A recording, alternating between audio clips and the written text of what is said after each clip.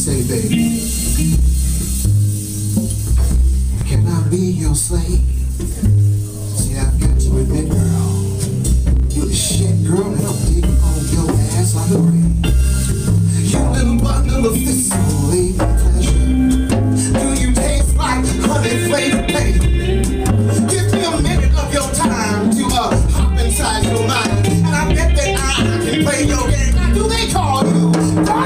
spinning pulsar? Or maybe queen of 10,000 moons?